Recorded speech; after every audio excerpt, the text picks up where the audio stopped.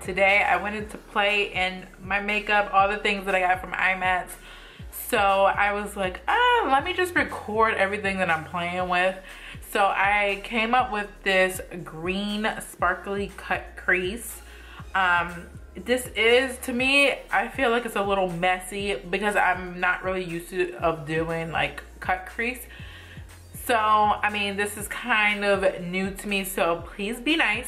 But for the lid, I use Eye Kandy's glitter, and this one is in Sour Apple, and it's a really pretty green color, and it has, oh god, it's a really pretty green color, and it has gold and like orange uh, glitter in it.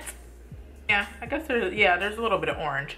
So I thought that would be really, really pretty with a nice nude lip.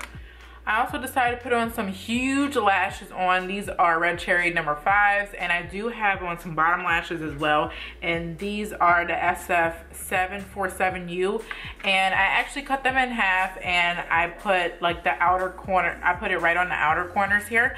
Um, so yeah i'm really really loving all the stuff that i have bought so far. Um, for my foundation i use the makeup forever hd foundation and oh my goodness how look how good it matches me. Like it matches really really well. And so i love that. And i also set my makeup with the model in the bottle.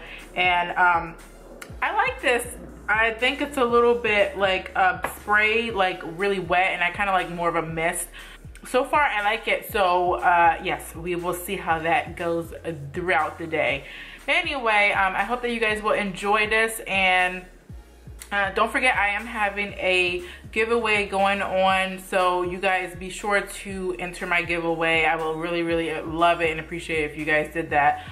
And yeah, I guess that's it. My hair is from Owigs and um, I'll have a link of the review for this hair. It actually kind of picks up on the camera much darker, but it is brown. So um, yeah, I will see you guys in another video. Mwah!